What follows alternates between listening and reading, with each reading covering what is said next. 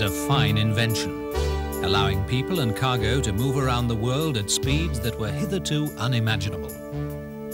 Bring these fabulous machines down onto the ground, however, and they are dependent on a transport system that is thousands of years old, a set of wheels. Here on the runway granted, the wheel does its job well enough. But take the plane apart, and old methods rapidly reveal their limitations. The transport system required to move these massive but delicate aircraft engines has to be far smoother and much more maneuverable. The solution lies in a transport method more suited to the 20th century, air film technology. The basic component is known as an air bearing. Using a specially formulated urethane diaphragm mounted on a lightweight alloy backing plate, the bearing floats on a thin film of air. It's a simple but highly effective concept. Compressed air, generally supplied from a normal factory airline, enters the bearing and fills the chamber between the backing plate and diaphragm. The air bleeds through into the area between the diaphragm and the floor. As the pressure builds up, the diaphragm inflates, lifting the load upwards. Finally, the special shape of the diaphragm allows controlled leakage between it and the floor, creating a virtually friction-free film of air on which the load can ride.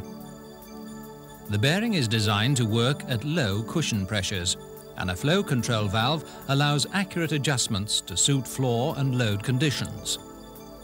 To help with the formation of the air film, a smooth surface such as a power-troweled concrete floor is required. Airfilm technology offers a number of unique advantages. Being virtually frictionless, it allows unmatched freedom and ease of movement. Simple controls keep training to a minimum, giving savings in time, labour and effort. The low operating pressures and lack of moving parts mean that air film is kind to floors, and maintenance costs are minimal. Besides being safe in hazardous environments, the smooth, vibrationless flotation ensures safe and stable movement of even the most delicate of loads. Of course, heavy loads do not come in standard shapes or sizes. Hovair has developed a comprehensive range of products to cope with different loads and different situations. The bearings are usually used in combinations of four or more and are built into a whole range of load-carrying structures. Everything from a simple framework to a large turntable. A wide range of bearing sizes and types, purpose-engineered controls and accessories allow solutions to be tailored to customers' specific requirements and conditions. The simplest unit is the air skate, used often in sets of four or six. They are linked together by a common manifold and are often controlled through a valve with a dead man's handle. They can be used as a rigging tool or as permanent fixtures for regular machine movement. Gullick Dobson, a major supplier of pit roof supports to the mining industry, use lightweight aluminium air skates. The supports, weighing up to 20 tons, are regularly moved within the Wigan exhibition area by only three men. Controlled with a remote dead man's handle, the supports are positioned quickly and safely with minimum effort.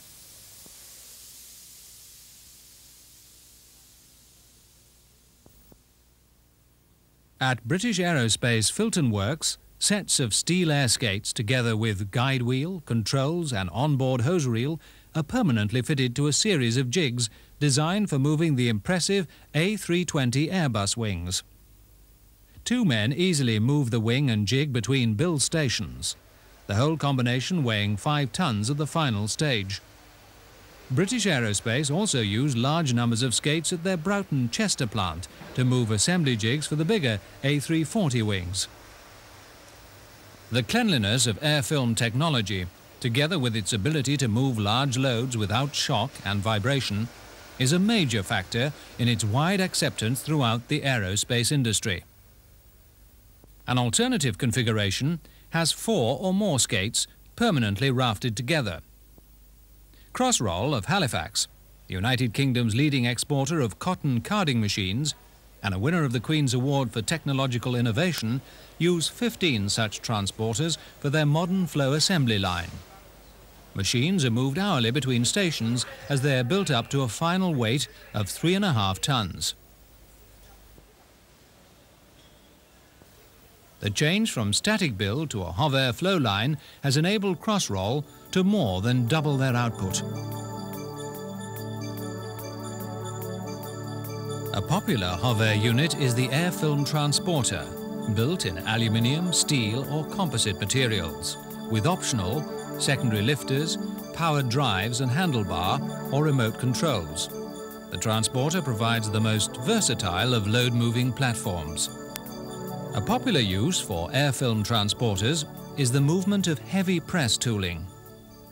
Lucas Aerospace of Burnley has reduced weekly tool change times from hours to minutes using a 24-ton capacity HOVAIR transporter.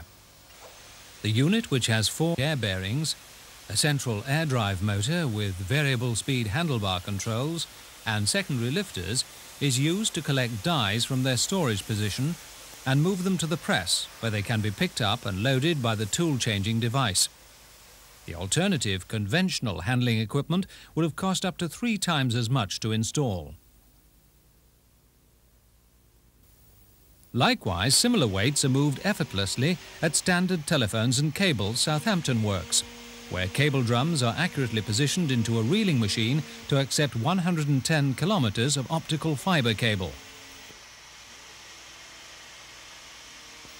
Factors affecting the choice of machine were the freedom of movement which air bearings allow, ensuring quick and easy alignment to the drum spindles, simplicity of operation and low maintenance costs.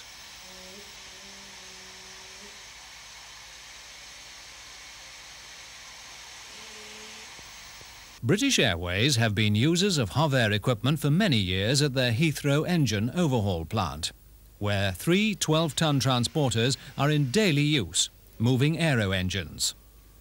British Airways are totally dependent upon the transporters as no other means of handling is available to them.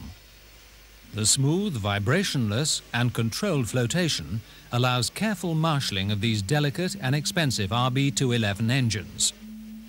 Dual drive motors allow forward, reverse and side-to-side -side directional control to be selected, with flush lifters keeping the lift height to a minimum. Another delicate yet heavy product is transported on air film at Bowman Webber's glass silvering plant in Essex. The special side-loading transporter has four drive units working in pairs, allowing it to be steered when travelling forwards, sideways or in reverse. Eight air bearings support the load, and flush secondary lifters pick up the stillages containing up to 24 tons of glass. All controls are from a remote handheld console, connected to the unit via an umbilical, thus allowing the operator to move around the load and be sure of a clear and safe movement path. The use of a HOVAIR transporter enables jumbo packs to be handled in a factory where low headroom ruled out craneage. A third axis of movement can be achieved by combining a scissor lift table with an air-bearing transporter. In this example at James River Corporation, the high manoeuvrability and fine control allows three-ton reels to be carefully placed into the unreeling machinery prior to coating.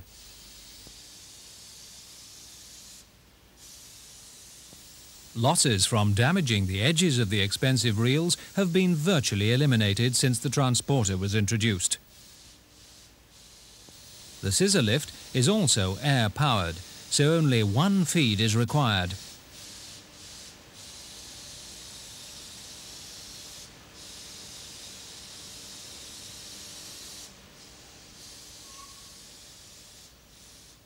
At British Steel, Stainless Division, Two transporters are in constant use, transferring coils up to 30 tons from the store to cut-up or slitting lines. Features include powered onboard hose reel, drive motor and guidance using drop pins in a channel into which the hose unwinds during its 45 metres of travel. The U-shape allows an hydraulic shoe to quickly remove the coils for loading onto a mandrel.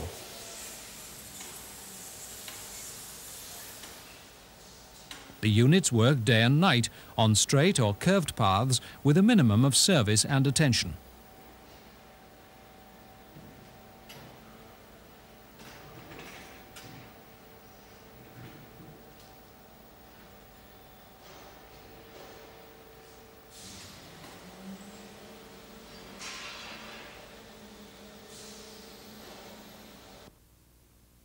Ruston Diesels is one of the many GEC companies regularly moving loads between 1 and 600 tonnes with Hovair products.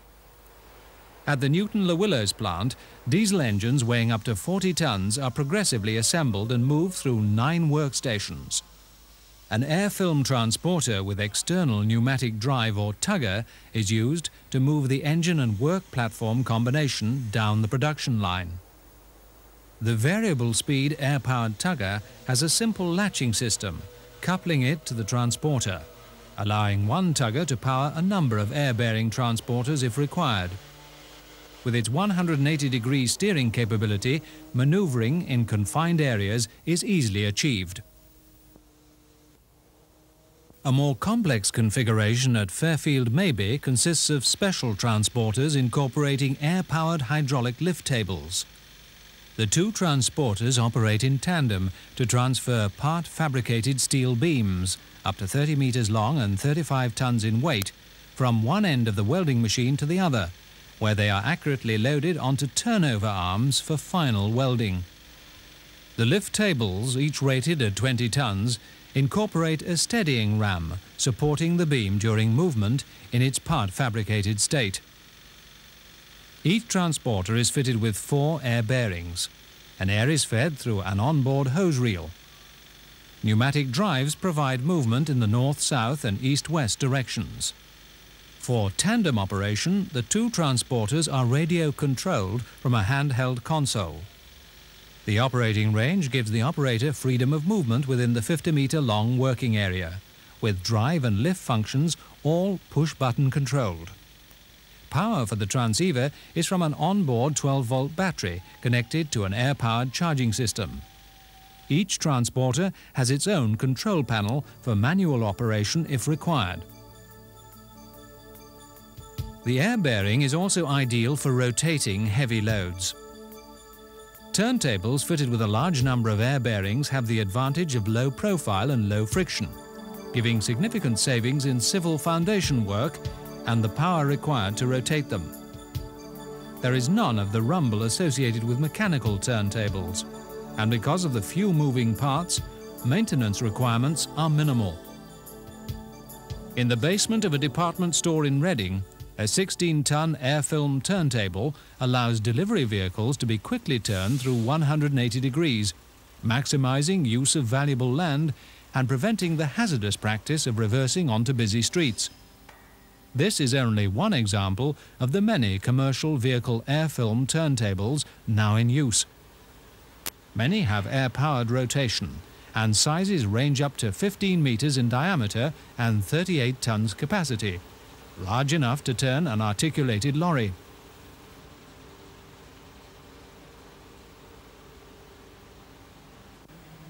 Large savings in maintenance costs have been achieved by Rotherham Engineering Steels with the installation of this 200-ton ladle turning unit. Six air bearings support the load with air fed through the central pivot, whilst an hydraulic actuator steadily indexes it through 180 degrees. The turntable allows them to greatly extend the life of the inner refractory lining.